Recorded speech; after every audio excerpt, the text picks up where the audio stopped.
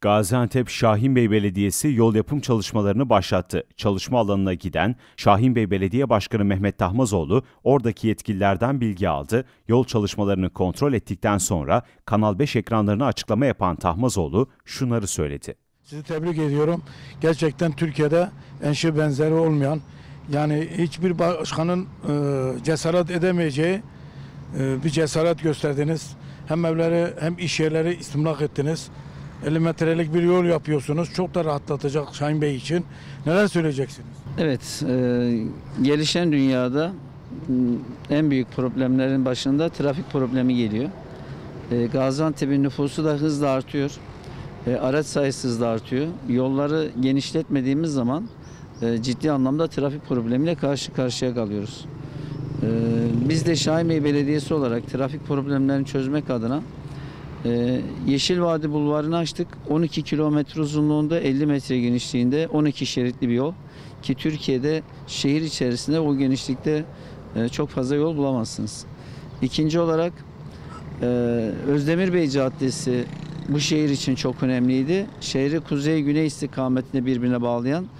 Biz burayı e, açmaya başladığımızda birileri inanmadı. E, fakat çok şükür azimle, kararlılıkla, çalışmayla, ekip çalışmasıyla o yolu da 6 şerit olarak Doğum Ev Kavşağı'ndan Dutlu'ya kadar e, e, ve Yeşil Vadi Bulvarı'na bağlayacak şekilde tamamladık. Daha sonrasında e, şehir içerisinde kangren olan tamirciler, eski garajlar 40 yıllık bir problemdi bu. Ve her gelen belediye başkanı burayı kaldırma sözü vermişti. Fakat e, bir türlü kısmet olmamıştı.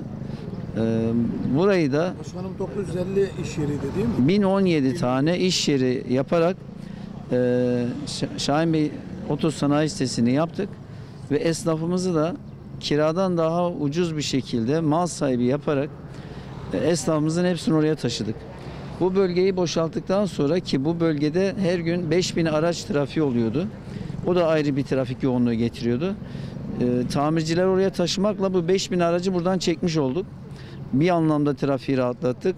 Bunu da yeterli görmedik. Şimdi e, İnönü Caddesi'ne alternatif ki İnönü Caddesi 20 metre genişliğinde bu yeni açtığımız yol 40 metre genişliğinde. E, başkan yardımcılarımız, müdürlerimiz, personellerimiz, meclis üyelerimiz hep birlikte e, bir ekibiz, bir ekip çalışması. Bu şehre, bu millete hizmet etmek e, büyük bir şereftir. Bu şerefe nail olmak için bizden gay- gay- gayret bizden, tevfik Allah'tan diyorum.